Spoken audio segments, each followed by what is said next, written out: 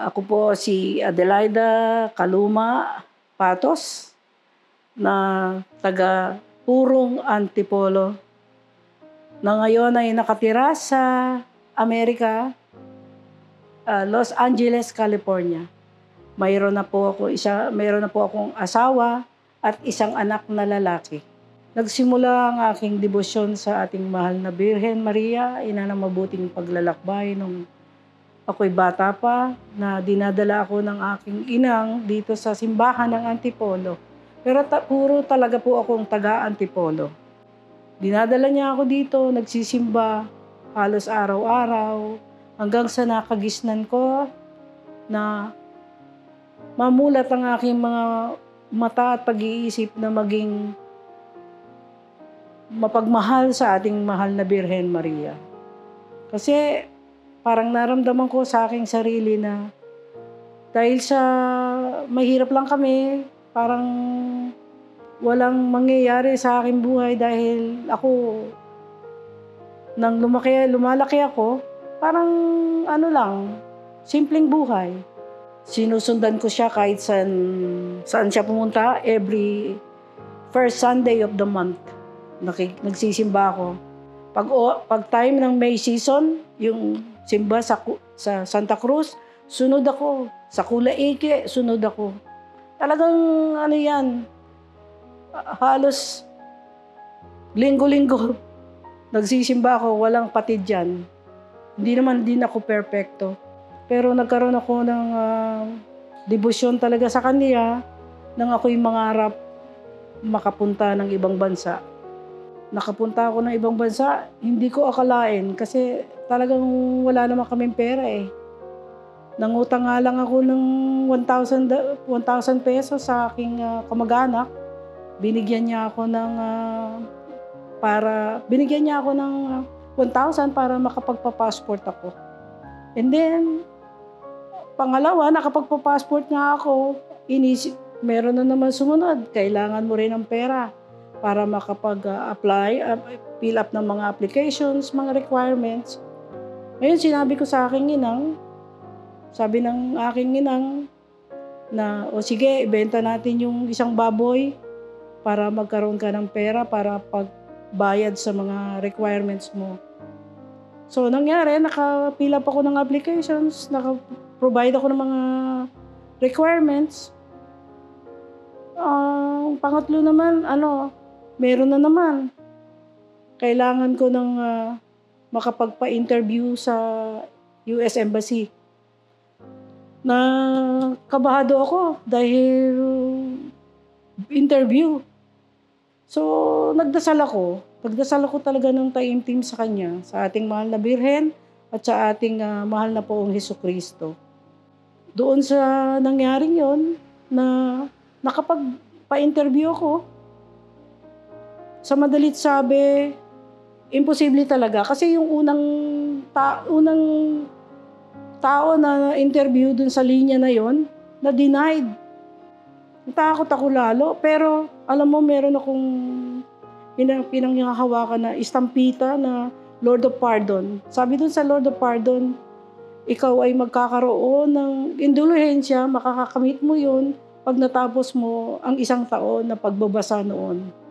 So natapos ko yung pagbabasa na yon pero naano ko, dumilipas ang araw, ayun nakapag ano ko. So nung time na yon, nagdadasal ako, sabi ko sa sarili ko, oh, sige, punta na ako dun sa interviewer. So, dun sa interviewer, alam mo, nakikita ko yung mukha ni Jesus Christ.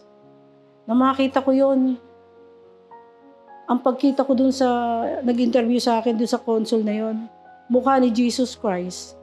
Talagang sabi ko, naiiyak nga ako noon eh. Pero, in-interview ko, marami siyang questions. Nalampasan ko naman. After nun, sabi niya, tinataka niya yung, yung passport kong dala. Tapos nung binigyan niya ako ng isang maliit na papel, sabi niya sa akin, okay, come back in two weeks. You can get your passport. Kasi kinuha niya yung passport eh. Nung tinatakan niya, kinuha niya yun, hindi niya ibinalik sa akin. Tapos bumalik ako ng in two weeks, nakita, nakita ko na talagang may tatak siya na approve. Nakutuwan-tuwa ako. Sabi ko, oh my God, thank you Lord. Nung lumabas ako sa embassy, sabi ko, oh, thank you Lord, thank you Lord. Sabi ko ganun sa kanya, salamat po, salamat po. So, uwi ako, pinakita ko sa mga kapatid ko, sa inang ko, wow, talaga walang gasing tuwa ang naramdaman nila. Tapos ngayon, ito na naman. Kailangan naman na kailangan ng pera para aeroplano naman, plane ticket. Ah, sabi ko, saan tayo kukuha ng pang plane ticket? Sabi nung dalawa kong kapatid, hindi, kaya natin yan. Sabi niya, ganun, ma, ano yan, malulutas natin yan. Magdasal lang tayo, sabi niya ganun sa akin. So, nagdasal kami. Aba, bigla na lang may nagkaroon ng pera yung isa kong kapatid. Sabi niya, oh be, meron ka ng pera pang, plane ticket. Wow, tuwan-tuwa ako talaga. Wala kasing tuwa. It's really uh, a miracle dahil imposible talaga eh. Kahit singko, wala akong hawak eh. Tapos ito na naman. Sumunod, kailangan ko ng $1,000 na ilalagay doon sa likod ng aking passport. Eh, Buti na lang meron akong kaibigan na nagtatrabaho sa bangko. Nagawa niya ng paraan. Nung time na yon, natataka ng aking passport ng $1,000 pero sa totoo, ang cash money ko ay only $500. Nung pumunta ako doon, lumipad na ako sa port of entry. Buti na lang, salamat sa Diyos. Pero meron akong dalang maliit na birhen ng antipolo. Yung mali, pinakamaliit yun, dinadasalan ko yun habang nasa eroplano kami.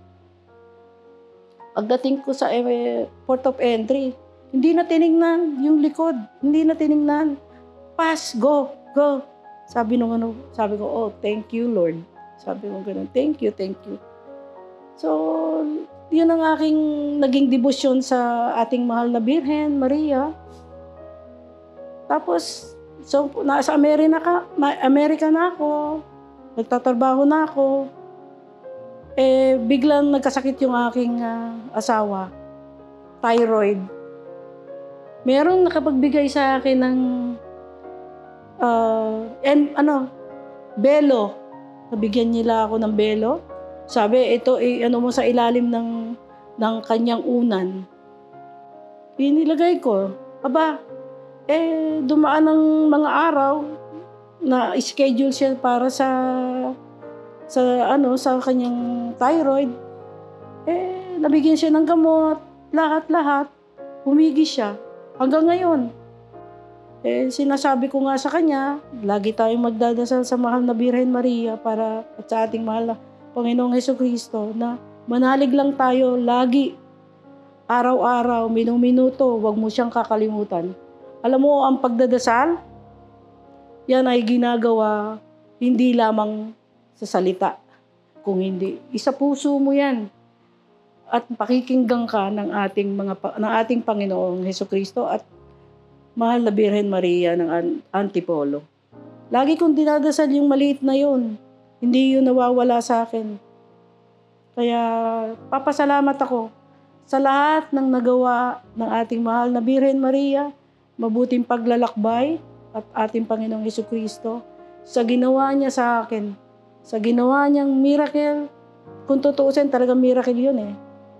Wala tayong uh, iisipin. Basta ikaw magdasal ka, aking uh, sinasabi nga, nire-relay ko ito sa mga ibang tao na naniniw, na mga nagdidibusyon sa Birhen ng Antipolo.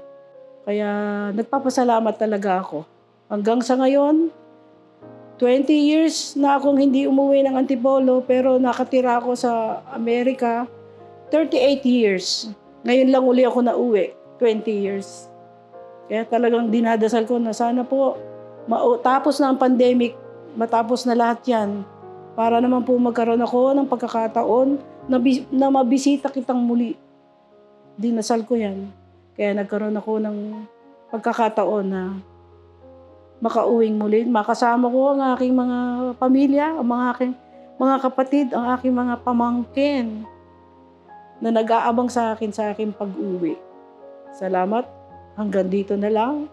At sana'y mag, maging ah, ah, tawag doon yung magkaroon kayo ng ah, pagkakataon magdasal from the heart not only by mouth inside deep inside. Matutupad ang mga pangarap nyo salamat po ng marami sa inyong lahat. At lalong lalo na sa ating mahal na Birhen Maria, ina ng mabuting paglalakbay ng Antipolo. Muli, ako po si Adelaida Kaluma Patos, purong taga Antipolo, deboto ng Birhen ng Antipolo. At ito ang aking kwentong Antipolo Pilgrimage. Ikaw, ano ang kwento mo?